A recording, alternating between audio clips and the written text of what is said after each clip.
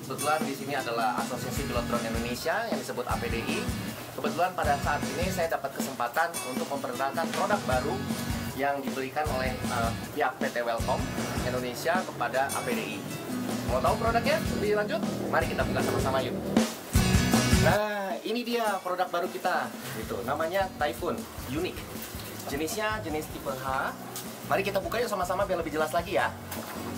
Jadi dalam satu paket ini itu sudah ikut sama batasnya. Nah, karena masih baru jadi agak susah sekali. Sobek masalahnya. Ya, saya taruh sini terusnya. Nah, ini dia tampilan depannya. Oke, kita coba buka dulu ya.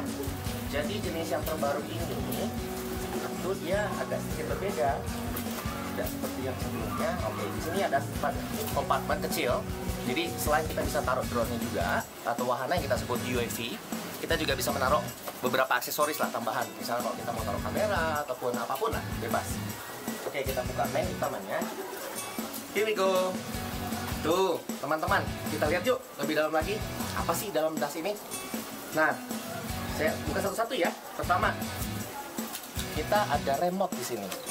Remote-nya keren sekali. Tuh, mau lihat nggak? Lebih dekat ya. Tuh, layarnya besar, udah ini, udah built-in. Jadi nggak perlu lagi kalian sibuk-sibuk pakai bawa handphone atau apa? Uh, kalian punya gadget, gitu ya.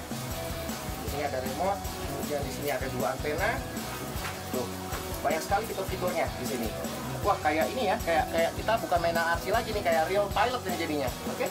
Oke, berikutnya kita ada baterai, ekstra baterai, kita dikasih ekstra baterai. Berarti artinya di dalam wahana ini kita punya dua baterai. Oke? Ini jenis baterainya. Nah, bisa lihat. Ya, seperti ini. Oke. Kemudian untuk ngecasnya ini adaptornya. Gampang sekali. Jadi baterai yang tadi kalau misalnya habis, kita tinggal cas aja di sini. Ini cara pasangnya. Nah, very simple, very easy. Ini ngambil kurang lebih sekitar 2 jam paling lama. Satu kali full, full charge. Oke, berikutnya lagi kita buka ini. Ini adalah oke okay, aksesoris box. Di dalamnya saya rasa ya, I guess kayaknya ini adapter buat charger atau ya betul. Jadi tadi itu adapter yang tadi. Ini stoknya. Nanti dihubungkan kemari hubungkan kemari kemudian dari adapter ini kita hubungkan pakai kabel ini. Ini kita bisa colok ke listrik. Ada juga nih kalau nggak tahu oh iya ini dia. Kalau misalnya kita lagi traveling lagi jalan nih perjalanan mungkin apa jalan sih perjalanan sekitar satu dua jam perjalanan kita sambil berjalan kita bisa cas di mobil kita. Jadi sangat sangat memudahkan sekali kita untuk traveling. Oke? Okay? kemudian berikutnya oke okay, ini ada propeller. Atau kita sebut dengan baling-baling ya istilahnya. Ini yang untuk menerbangkan si wahana sendiri. Di dalamnya kita lihat ada berapa biji ya. Tuh banyak juga nih. Wow.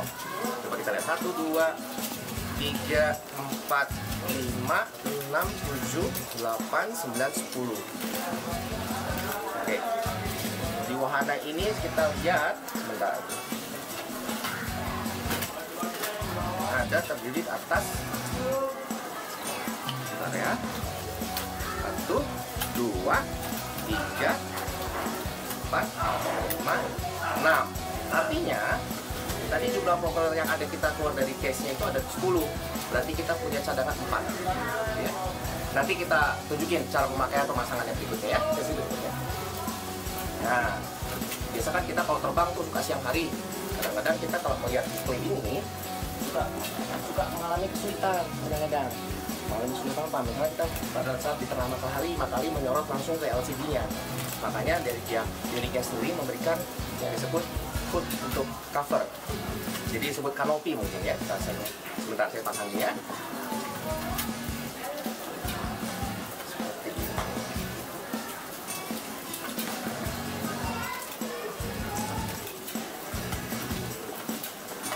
kurang lebih bentuknya seperti ini jadi supaya pada saat ada cahaya dari samping dan mana pun tidak bisa nembus mengganggu penglihatan kita ya oke berikutnya kita ada apa ini? Kabel USB ya. Oh ya, kabel USB itu nanti kita bisa pelajari karena nanti dilengkapi oleh manual book. Jadi kita harus pelajari semua ya. Jadi teman-teman kalau memiliki barang wahana apa pun itu, pastikan nomor satu pelajari dulu. Jadi jangan langsung main terbang. Itu nomor satu standarnya. Jadi kita paham. Nah, satu lagi nih yang menarik dari unik.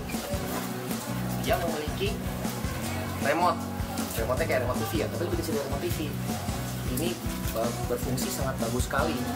Jadi bisa untuk mengontrol, nah, mengendalikan si wahana tersebut tanpa harus menggunakan remote ini. juga. Jadi sangat mudah.